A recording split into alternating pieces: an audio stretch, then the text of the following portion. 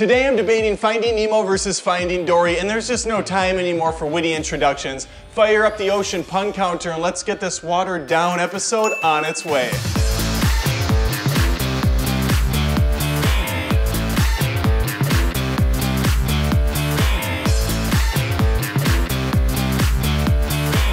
I enjoy Finding Nemo. It's not my favorite of the Pixar family adventures, and I wasn't clam marine for a sequel, but I was optimistic. I'm glad it turned out as good as it did. The gang doesn't change much between installments. Marlin, Nemo, and Dory, voiced by Ellen DeGeneres, lead the charge with a couple of reoccurring favorites, like Crush and Mr. Ray. I think the first picture has a better supporting cast, especially from the fish tank friends. William Dafoe is a grizzled veteran fish named Gil, Allison Janney as Peach, and everybody loves Raymond star Brad Garrett as Bloat. Make for a very fun day at the pool. It was a shame the sequel didn't bring any of these guys back along with a team of sharks or Nigel the Pelican played by Geoffrey Rush. Finding Dory does, however, have a nice set of new characters. We have the idiotic seals and the crafty octopus Hank, voiced by Ed O'Neill. Nemo actually switched voices between movies, in the first played by Alexander Gould. I assume that pesky puberty kicked in over the 13 year stretch, so Hayden Rolence was brought on to continue the voice. Has it really been 13 years? Where the shell has the time gone?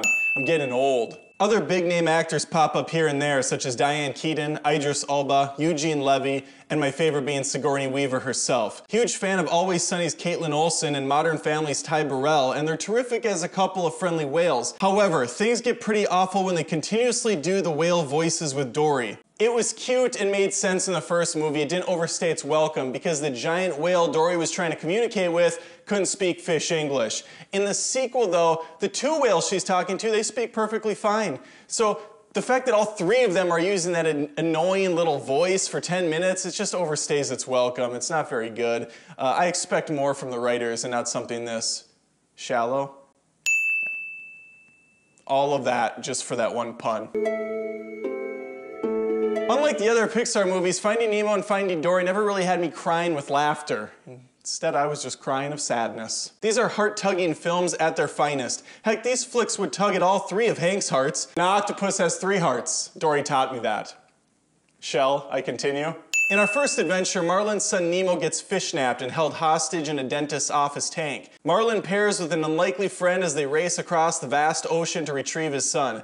The story is simple, but it's not just a surface level film. Things are much deeper than that. The movie opens with Marlin losing his wife and all but one child, so he raises Nemo on a very tight leash. He's all the guy has left, so losing him as he lost so many others is not an option. This, of course, brings out the real story of Finding Nemo, which is acceptance and moving on in order to really save his son, he's got to let him go a little bit. He's got to trust him, learn to accept that Nemo can do things for himself. And here come the tears. Here they come.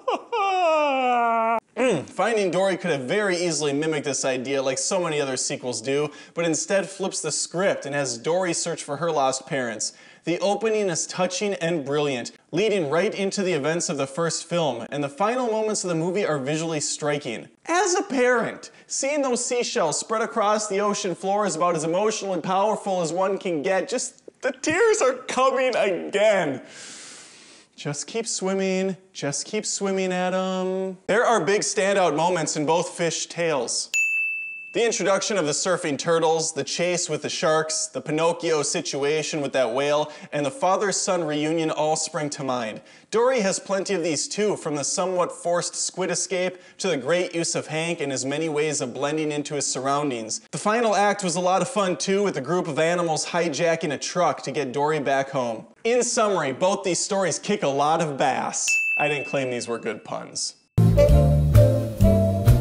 The fish look like fish, the water looks wet. What else can I say? I've praised the talent at Pixar over and over again on this show. The visuals are always top tier and they're not afraid to push things to their limits. Finding Nemo has aged quite well while Finding Dory fits right into that universe. Nemo struggles with appearance the most during the dentist portions, mainly with the human figures. That's the biggest step up in the new movie. Character models are all better detailed, but otherwise the movies blend swimmingly together.